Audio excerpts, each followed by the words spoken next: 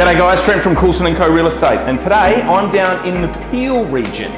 Now, if you want a big place with plenty of space, then 28 Raywood Road, Bouvard will put a smile on your face. Four bedrooms, three bathrooms, massive house. We sit on about two hectares here. Entertaining inside, we've got pool room, we've got spa bar, you name it, we've got it. Outside, swimming pool. If you fancy hitting a golf ball, you can do it. You've got plenty of room. Tennis court, workshops, that's right, more than one. We've got two.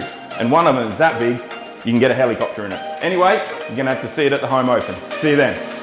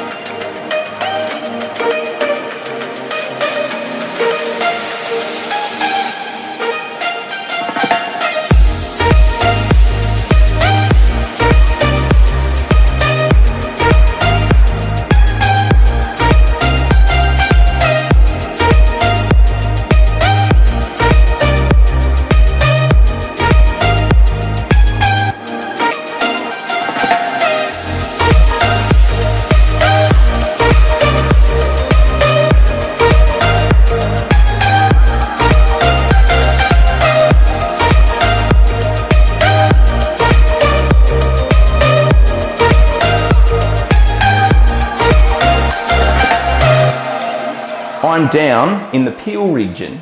I think I am. G'day guys, Trent from Coulson & Co Real Estate and today I'm down in the Peel region. G'day guys, Trent from Coulson & Co Real Estate and today I'm down in the Peel region at a very unique home. If you're after some space, uh,